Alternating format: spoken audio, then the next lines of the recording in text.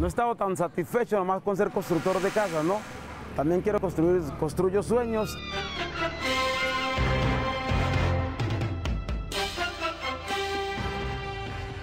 El poder más grande del mundo es la potencia intelectual del alma. Presagio.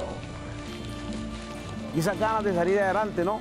Por eso yo también eh, me apasiona la fotografía, el cine, el video, el documental.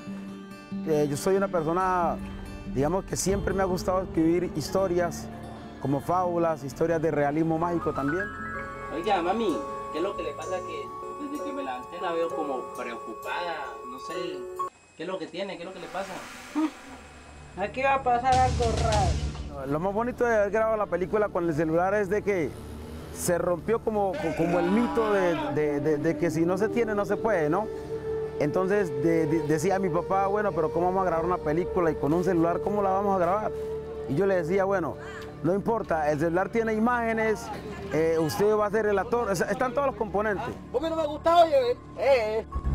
Algún día serás mío. Siempre me ha tocado grabar, editar, hacer sonido, maquillaje, cámara, pero eso no, eso no ha sido para mí un pero.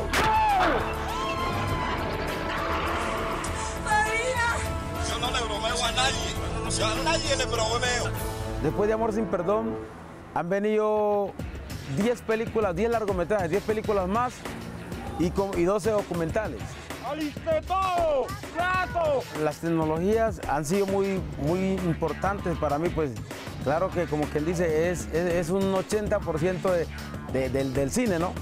Entonces ha sido para mí muy importante lo que ha sido el punto Vivi Digital en Cali eh, y también eh, así como el que hay aquí en Villapaz hoy y que seguimos caminando a ese gran sueño de, ser un cineasta grande y estar eh, en Hollywood, ¿no? Que ese es como el punto máximo, el punto máximo que uno, que todo cineasta quiere lograr, ¿no? Eh, pisar alguna vez la alfombra roja en Hollywood.